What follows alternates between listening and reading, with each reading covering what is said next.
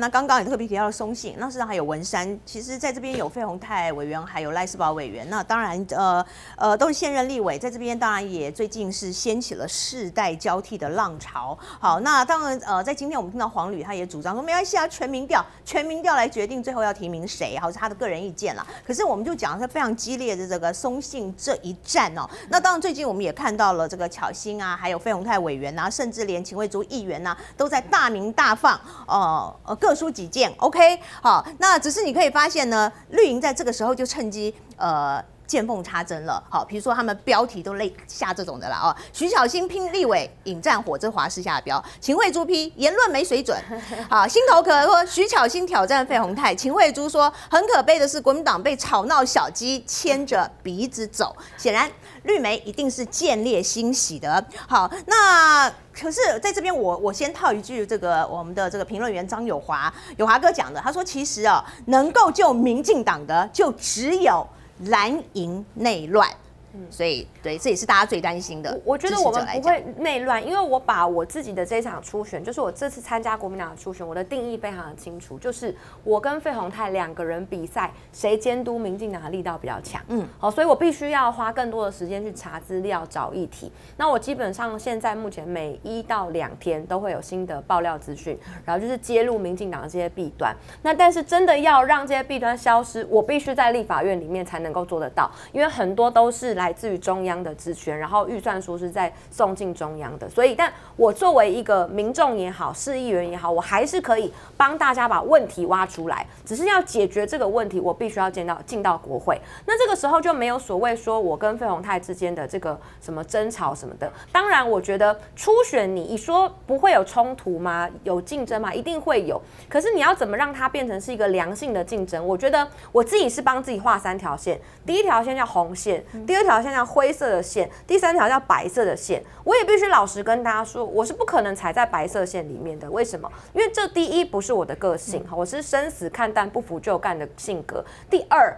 你是我作为一个挑战者，我还在白线里面，我根本连一丝生存的机会都没有。费委员是现任的委员，他在资源上面，在很多的这个都都比我来的丰沛，所以我必须我可以踩在哪？我可以踩在灰线上面，但我向大家保证，我不会踩在红线上面。这是我作为一个党员，我最基本哈，我可以。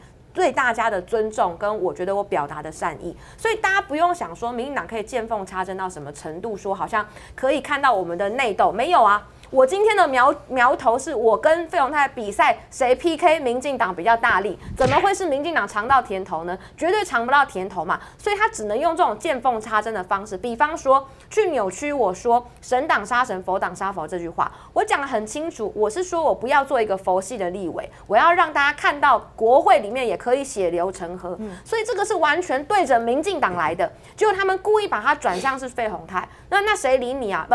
绿营要怎么去曲解？他们本来就很会曲解，可是我不需要跟着你的套路进去走，我根本不需要理你，所以我就帮三立明是当成是帮我免费的宣传，也没有不好嘛，让更多人知道我有在参选，对我来说，我觉得也是加分的。再来就是秦议员他讲说没水准这件事，我要先讲，我个人并没有觉得我自己的言论有到没水准的程度，好像没水准，这确实是有一点比较重，但是我尊重他的说法，因为。我觉得他也有他可以批评我的空间，就像我在过去，我也有很多时候，可能我对于党内其他的同志，比方说先前傅昆奇他在中常会的时候送礼的事件，我也有提出我自己的意见跟批评，那对方一定也会觉得不满意。所以今天秦慧珠她有她的个人的看法，我也完全能够支持跟尊重。我觉得如果骂我会觉得让他觉得心情比较好的话，再多骂个两三天，我也不会觉得怎么样，就我不会因为这样少一块肉啊，我干嘛特别在意这件事？我的目标非常的清楚，就是我能够花，我现在时间非常有限。黄旅主委已经讲了，可能三月四月就要出选了，这对一个新人挑战者来说是非常压缩的时间。那呃，像费委员他做这么久了，所以大家都知道他是立委，跟我不一样。我需要让大家知道说，我现在目前正在参选什么。很多人还搞不清楚我在选什么，我需要让大家知道我是在投入国民党立委的初选。很多人也跑来问我说，那我要怎么支持你？那现在民现在是不是全民调也还？还没有最后的拍板定案，所以。我们的初选制度对于新人、对于挑战者来说是处于弱势的。好，我没有讲说这样等于制度不不公不公平，应该说永远在挑战的时候，挑战者就是属于比较弱势的，所以我必须要更呃有主张，然后更有主见，让大家知道我在做什么。那我的方向非常的简单，就是我会不断的去抛出跟民进党执政他们有关的弊案的问题，像昨天我们也把这个数位发展部的大内宣揭露出来了嘛。好。那这个时候，我觉得良性的竞争是这样子。我觉得一个政党里面光靠团结是不够的，你知道吗？那种假面的团结一点用都没有，我根本不喜欢看到那种东西。什么叫真正的团结呢？就是每一个人都努力的在这个赛场上面表现出最闪耀的自己、最好的自己，使得其他的人也觉得我必须要做的比他还要好，这样我才能被看到。所以是在互相竞争的过程当中形成一个真正的团结，这才叫做真正的团结。真正的团结是我们都觉得要下架民进党，政党必须要轮替，所以每一个人都在比赛。谁的做法最有办法下架他，就由谁来出战二零二四。那我也说得很清楚了，如果今天我我是挑战者，我也未必一定会赢。那如果今天不是我出现，我也一定会支持出现的那个人，然后去挑战二零二四年，然后协助整个国民党继续做我本来分内就应该做的事情。只是我进不到国会，那我很多的一些监督的主张，我没有办法完全的解决它，差别就在这里而已。那或许委员或其他的委员，他看到这个议题，他有兴趣。他们就拿去处理了，那也很好。就像是放盐，你会发现呢，我们每天都在讲说放盐领了很多，标案也领了很很多预算。可是最后说真的，只有我去检查这一年来他的标案的成效如何。但我觉得这本来不是就是在国会里面要监督应该要做的事情嘛？我们不去盯他们，他们盯我们盯多紧？所以我才讲说什么叫做神党杀神，佛党杀佛，是民进党在整个执政的过程当中建立太多假神跟假佛了。陈建仁是不是他们把他弄成像是神一样造神？那个陈时中是不是也把他造神？他们造了这么多神，但那都是假的，就需要像我们这样子的人进来。把他们一个一个的揭露，而且不能只是用呛瞎的，常常国民党的咨询就是用互骂的。